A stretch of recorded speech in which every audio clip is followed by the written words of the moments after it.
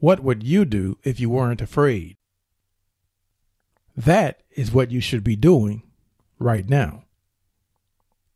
And that is the thought for today.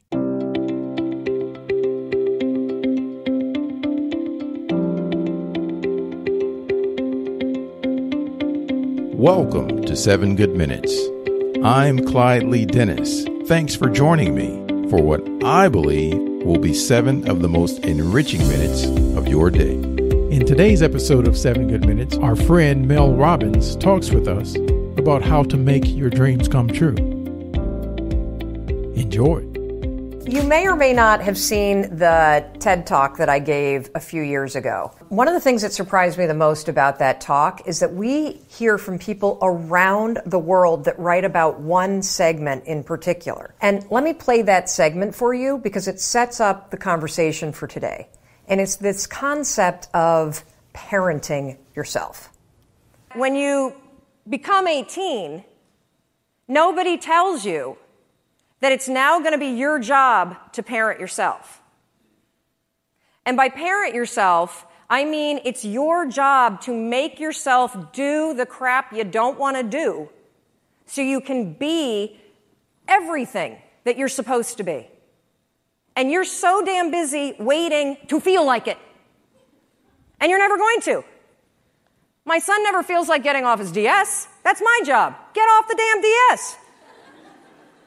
Kendall, clean up the Barbies. If you're going to have a nude party in my bathroom, at least clean it up.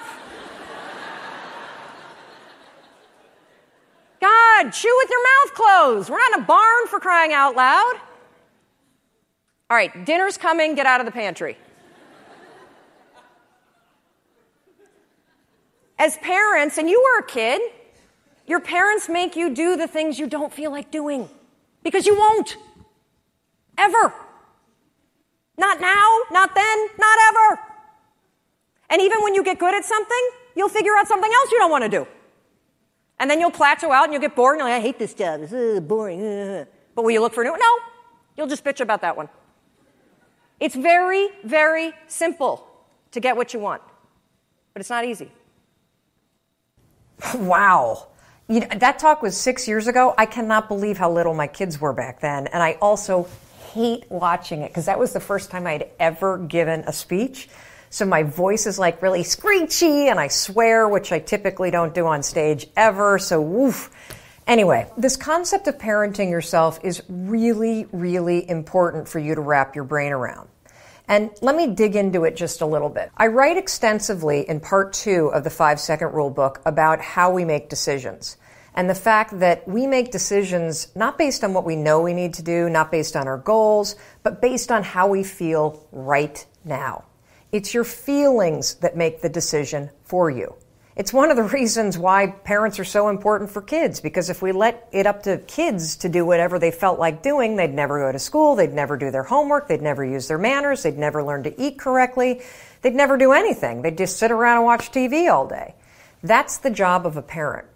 What most of us don't realize, though, and this is what I was alluding to in the TED Talk, is that when you become 18, when you move out of the house, when you're an adult, you have to parent yourself. Here's the rub you're never, ever, ever, ever going to feel like doing the things you need to do in order to have what you want. You're always going to need to push yourself. You're always going to need to parent yourself. So, what is the net advice on this? What, what is the bottom line? The bottom line is no one's coming. No one. No one's coming to push you. No one's coming to tell you to turn the TV off. No one's coming to tell you to get out the door and exercise. Nobody's coming to tell you to apply for that job that you've always dreamt about. Nobody's coming to write the business plan for you. It's up to you. And because you're only ever going to do the things that you feel like doing right now or that feel good right now, unless you understand that you've got to parent yourself, you've got to push yourself, you're not going to make your dreams come true. You're just not. We're not wired that way. You weren't born that way. You weren't that way when you were growing up, and you're certainly not that way as an adult. And there's a tremendous amount of liberation that comes when you accept the fact that you're always going to need to give yourself a push. That does it for today's episode of 7 Good Minutes. Please take a moment to rate and review the show on Apple Podcasts. If you have questions, you can ask those by going to 7goodminutes.com slash ask Clyde or get me on Twitter at Clyde Lee Dennis. Until next time, let's be civil to one another out there. Thanks for listening.